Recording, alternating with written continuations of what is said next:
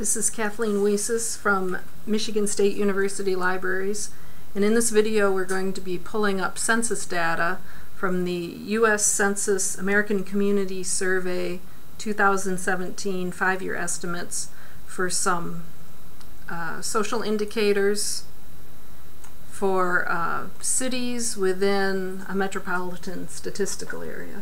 This is our goal and in this video I'm going to show you how to do it. This website is a guide to how to find uh, census data in general. You could Google it to find your way to it.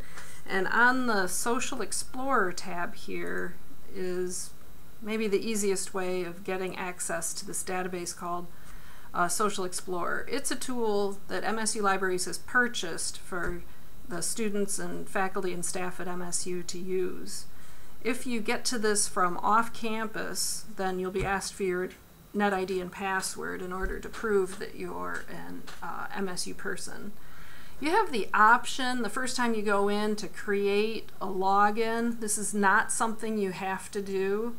Uh, I just used, you can use any old email address and just some dumb password or something so that when you come here it remembers who you are. And so I did it uh, and uh, the advantage to me is that it remembers data tables that I made in the past if I choose to save them, that is, and I can just bring them up really fast.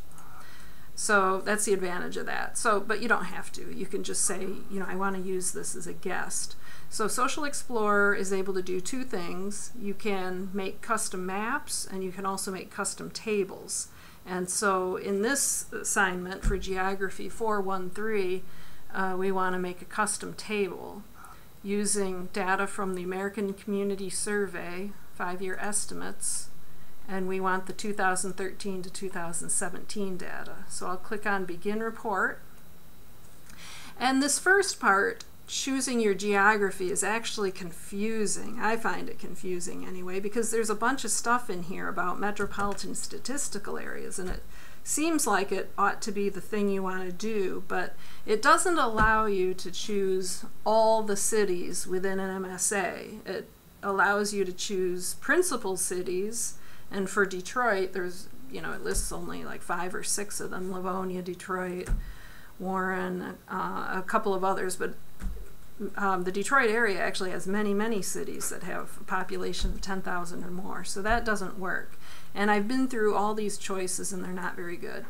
So the way I think that you ought to approach this is just to make a list instead of all the county subdivisions in your counties of your MSAs and then you pull up all the data and then the cities that are under 10,000 you can just erase those lines and uh, the places that aren't cities like for instance the the townships and the um, unincorporated places and you can just erase that out also. So uh, this is the way I've found to do it.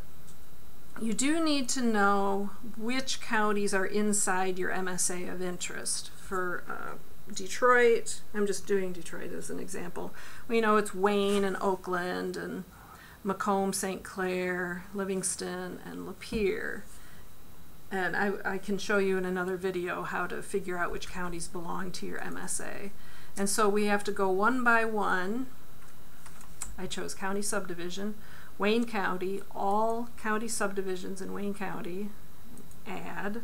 As I scroll down a little farther, you can see the things that I'm choosing. Another way to go about it would just do all county subdivisions in Michigan, and then you could bring up the table and you could erase out everything that wasn't in your six counties. That'd be another way of doing it. Uh, instead, I'm going to just go, not St. Joseph, St. Clair, all county subdivisions in St. Clair. You can see it adding to the list. Oakland,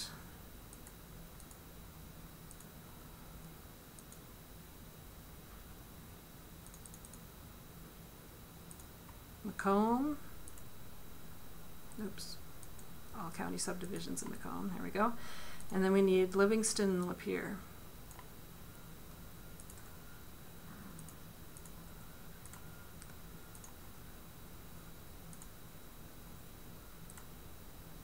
Oops.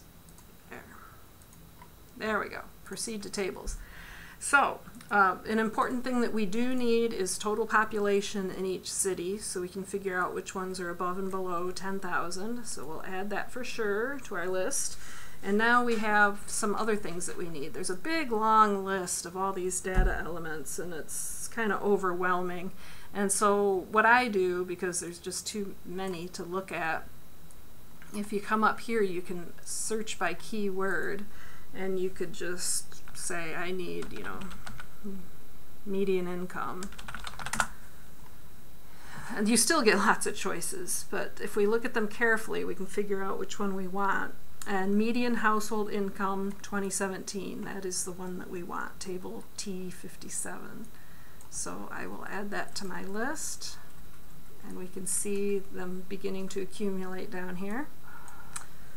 Uh, we need um, yeah, how many people have a bachelor's degree or more? And so this is another thing um, that's a little bit tricky. Yeah, there's two choices here, educational attainment or highest educational attainment.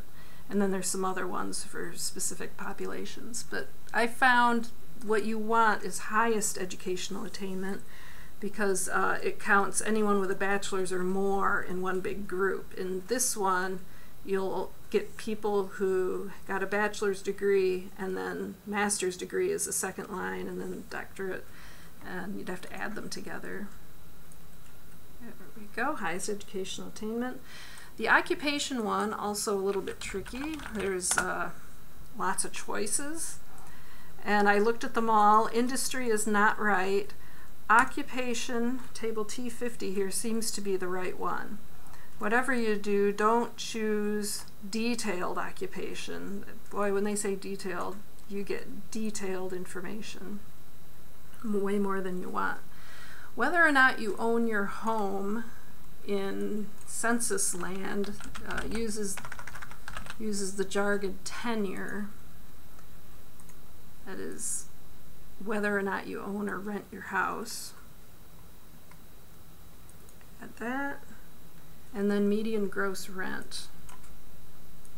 You can see you don't have to type in exactly what you want. You can just type in a single word and it will limit the list to those that have that. Now we don't want gross rent, we want median gross rent.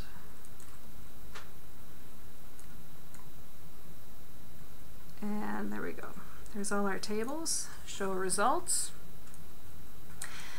Okay, so here's all of our data, and we're seeing every single county subdivision. It's beginning with Lapeer County, and you can see right away in this first little bit, um, most of these are townships, so they won't apply, and then Brown City has only four people, it says. I thought this was very weird, and so I looked it up, and it turns out Lapeer, or Brown City is mostly in a different county, and the city limits just sort of dip into Lapeer County just a tiny bit, enough so that only four people uh, live there. So you can see that we're going to be deleting a lot of uh, information from the table, but if you were to page through, you'd eventually get, you know, all of the the cities that do qualify also.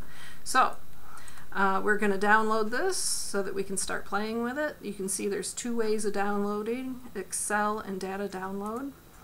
I'll choose Excel first so you can see what it looks like.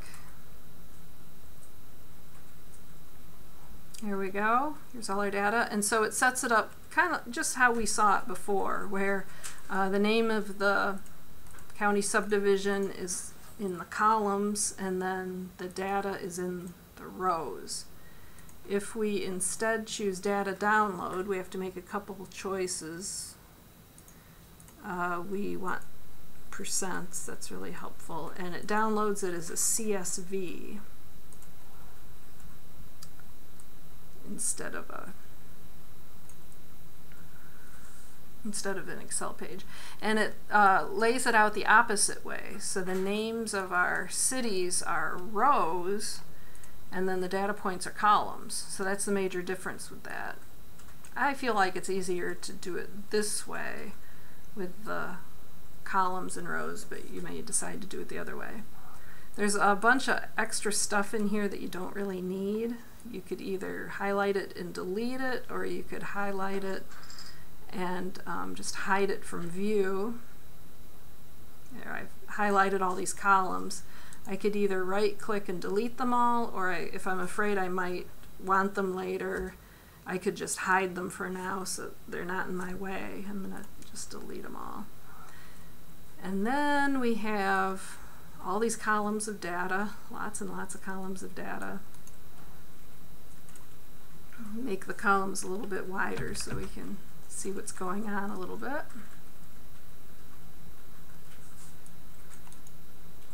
And uh, now we have some data that we can work with. If you had created a profile for yourself, a little login, then here's your opportunity to save it and next time you log in you'd be able to uh, pull it up again. You just give it some sort of name and, and it will be there for you. If you click this little X right here, then it goes away and you have to start over from scratch.